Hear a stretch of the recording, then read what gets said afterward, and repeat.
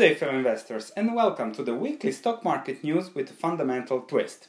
Today, we'll discuss what's going on with the Fed, the new chairman, the productivity in the US, what's going on in China with their consumption, expected consumption, extremely important for the long term. Just touch on Greece a little bit, and then we'll discuss what's going on with two interesting stocks Skechers and Treehouse Foods that everybody expects me to talk about as it declined more than 25% last week. Let's start with the Fed. What's going on? Trump announced Jerome Powell as the new Fed chair. This won't change anything, so don't worry. Who is the Fed chair doesn't matter that much now. Also, Janet Yellen didn't increase interest rates as was forecasted last Wednesday, but everybody expects the Fed to continue to increase interest rates in December and then slowly continue to increase them over the long term. However, what the Fed has been doing over the past 10 years, buying a lot of bonds and putting a lot of liquidity into the market, has lower returns on bonds, savings returns, and pushed people to invest in stocks in chase of higher returns.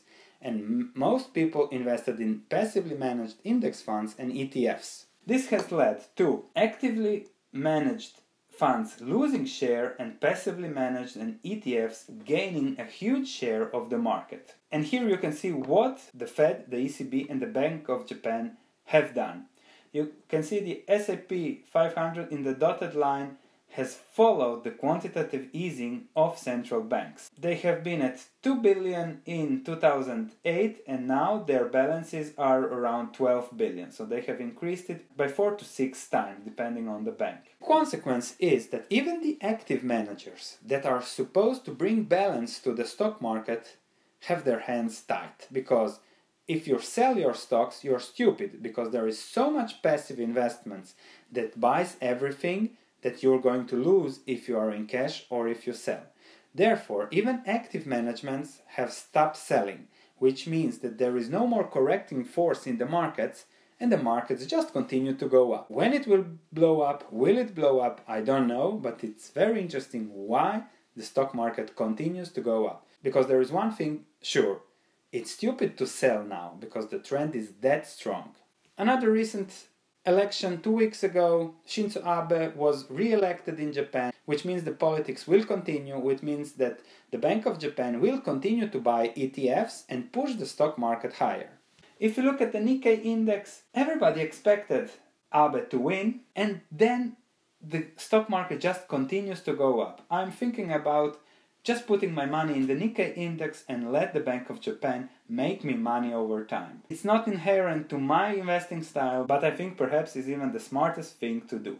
In the last year, the Nikkei index went up 31.54%. Incredible. For me, it's incredible. There is no inflation. People are printing money, buying everything, pushing stocks higher. Everybody's happy.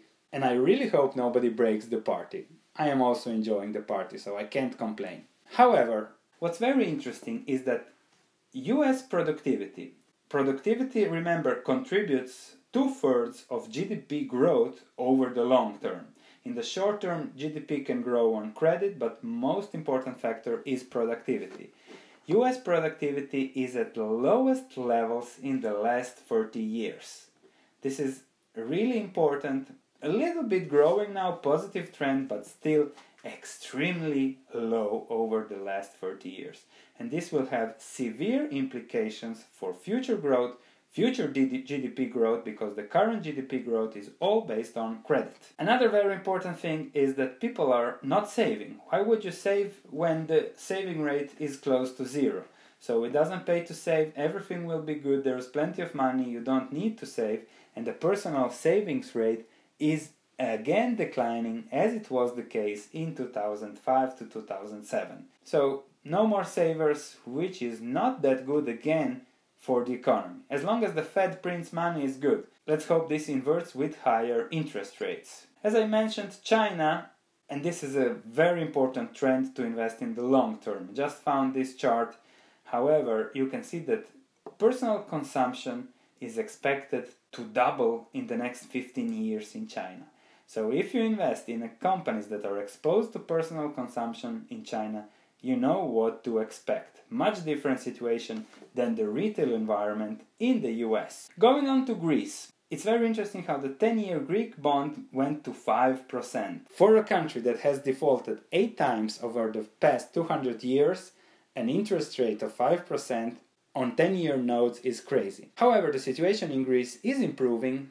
In the 2019 election, we expect a new government, a right wing government that's pro business, which means again an improvement in Greece that will probably make the reforms that the current left wing government isn't doing. And Kyle Bass is also heavily invested in Greek banks. So if you want a turnaround story, if you want to invest in a risky country that's doing better and that's taking advantage of the low interest rate trend in Europe, Greece is definitely an interesting play. Now, let's go to the two stocks I wanted to mention Skechers and Treehouse Foods, of course.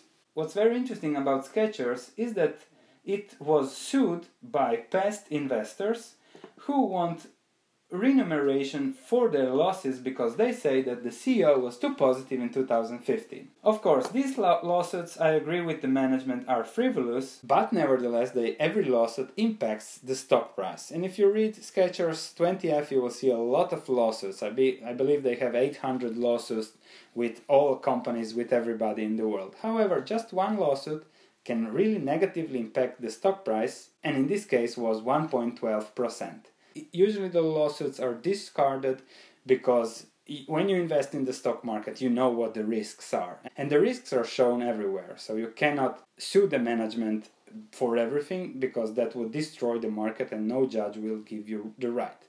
But again, the negative sentiment creates a drop in price. This shows how people don't really attach right probabilities and weights to what's going on around the company. Again, Skechers, after a few weeks, good performance, good earnings, strong growth, everything good, lost 5% in the last week. Why did Skechers lose 5%? Well, because it is in the retail sector and there is so much negative sentiment in the retail sector and most people are invested through ETFs and when you invest in an ETF and people start selling ETFs, the ETFs have to sell everything. Thus, also the good stocks like Skechers that have had great results. And that is the force that's pulling Skechers down. How low it can pull it, I don't know, but it's very interesting how the market works. Another company in a very negative sector with negative trends is Treehouse Foods. The stock price dropped 38% in the week and is also 38 40% lower from when I analyzed the stock and issued the recommendation that it is a good buy. Whoops! I apologize, but that's the risk of the stock market. You never know what will happen. Now, what's very interesting here is the stock price drift after the bad results. So, first the stock price dropped to 52, so somebody could have sold immediately at 52, only to drop during the day as there was more selling, selling, selling to a low of 40 and now closes 42.16. So it's very interesting how the stock price didn't drop immediately to 42 and stabilize, but first to 52 and then down, showing how markets are inefficient. Let's see what happened. So again, to show how the market works in tandem, no matter what the company does, it's most important in what sector it is.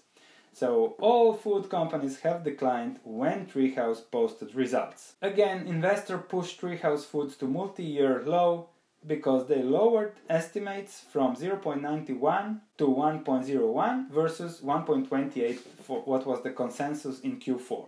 Again, after the stock price has already fallen, I don't know how much in the last year, then there is a downgrade from William Blair to market perform from outperform. Be careful with those downgrades because analysts mostly downgrade the company after the bad events have happened. So, very interesting situation. Then, another terrible news CEO resigned after only 100 days. That's really terrible news because nobody knows what happened there. Nevertheless, the key takeaways are still good. They lowered their adjusted earnings per share guidance from 3.3 to 2.7, which is a significant blow to earnings but they authorized a 400 million share buyback program the cash flows will be around 300 million, which is $5.6 per share, which means that the company is still healthy. However, private label is also still healthy. They have showed modest but steady volume growth, despite strong headwinds elsewhere. They still expect strong sales, however, they lowered their margin guidance, and that's terrible.